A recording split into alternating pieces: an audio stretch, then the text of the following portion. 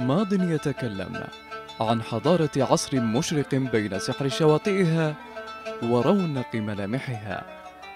تعتبر مدينة جدة الميناء الرئيسي في وسط منطقة الحجاز وكانت قديما محاطة بسور ضخم من جميع جهاتها ويتخلله بوابات ربطت مدينة جدة بالعالم الخارجي.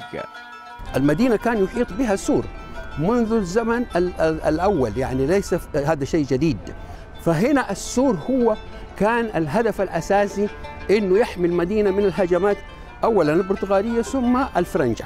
كل باب عليه برجين تقريبا للمراقبة وأيضا يعلوها فتحات وتسمى مناور علشان عملية الدفاع أو واجهات المدفع تخرج منه أو للحماية والوقاية هي ناحية أمنية وناحية حربية. أيضا على أعلاها توضع آه، شرفات. أيضا كمان هذه الشرفات اللي توضع أيضا للحماية. أنت داخل على البوابات. بعض البوابات على يمينك لها منطقة في الجنب تسمى الكوشن. هذا الكوشن هو عبارة عن مكان يختم فيه الداخل والخارج أو الأوراق التي تختم فيه. وأيضا باب شريف والذي يعتبر بوابة جدة الجنوبية. وأخيرا باب جديد. الذي بني في مطلع العهد السعودي ويقع في الجزء الشمالي من السور. باب جديد استحدث شرق باب المدينة اللي نحن واقفين عنده. أستحدثه في عهد الملك عبد العزيز. بعد دخول الملك عبد العزيز إلى الحجاز. المقصود به دخول السيارات وخروجها. لما عرفت البلد السيارات. باب المدينة كان يقصد به الخروج إلى المدينة المنورة من الشمال. آه في باب النافعة.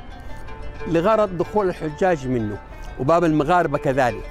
باب صريف وهو باب صغير. كان هذا الباب يأتي منه أمير البحر. بعد كده عندك باب الفرضة وكان يطلق عليه باب الفرضة من منذ العصور القديمة. والفرضة المقصود بها الناس التي تعمل في البحر. ومن المعروف أن هذه البوابات في الفترة الأخيرة للعهد الهاشمي كانت تقفل بعد صلاة العشاء مباشرة وتفتح عند الأذان الأول لفجر اليوم التالي إلا أن هذا الإجراء ألغي العمل به في مطلع العهد السعودي. بالنسبة للأبواب البحرية كانت تفتح للناس اللي يزاولوا أعمالهم في البحر. كان الركبان يأتوا ببضائعهم من ناحية باب مكة عن طريق الشرق سواء كانوا من الجموم أو من وادي فاطمة أو من الطائف أو المناطق الزراعية الأخرى. وإذا كانت مقفلة ينتظروا حتى يفتح الباب.